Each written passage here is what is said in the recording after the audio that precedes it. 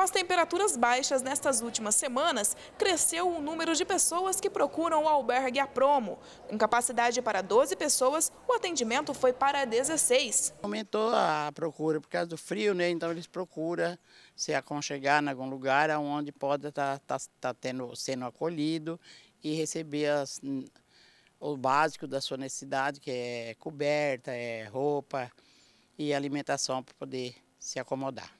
Com este aumento, as doações também precisam ser maiores. O local está aberto para receber todos os tipos de donativos. Tudo que, o que vem, que vir para, para o albergue é muito bem-vindo.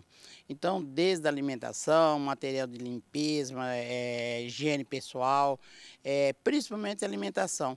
É roupa, calçado também, eles, a gente sempre tem que estar tá, é, organizando e providenciando para poder atender eles.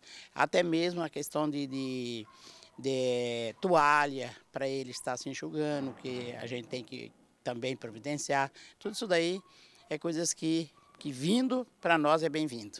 A Secretaria de Assistência Social, neste período, também ajudou com cobertores e retirou das ruas muitos moradores que poderiam ter hipotermia. A gente tem uma parceria da assistência social, temos uma, uma, uma, parceria sobre o atendimento, a parceria do CREAS. Inclusive, essa semana passada, como estava fazendo muito frio, o CREA fez aquele trabalho de abordagem na rua durante a noite. Então, ele fazia abordagem, trazia as pessoas para cá para a gente estar é, tá acolhendo e agasalhando as pessoas. Então, tivemos sim a parceria. Neste sábado tem promoção de pizza para ajudar o albergue. O valor é de 13 reais e deve ser comprada e retirada na promo. O endereço é Rua Santa Efigênia, sem número, no Conjunto Guarani.